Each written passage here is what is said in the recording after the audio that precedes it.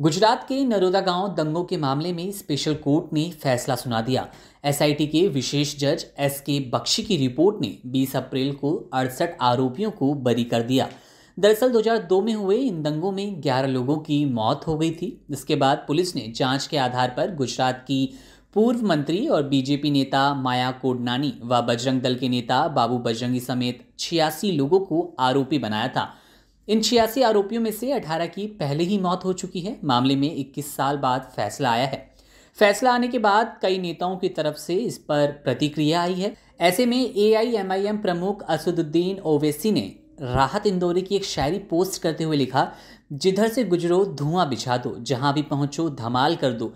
तुम्हें सियासत ने हक दिया है, हरी जमीनों को लाल कर दो। अपील भी तुम, दलील भी तुम, गवाह भी तुम, वकील भी तुम, जिसे भी चाहो हराम कर दो, जिसे भी चाहो हलाल कर दो।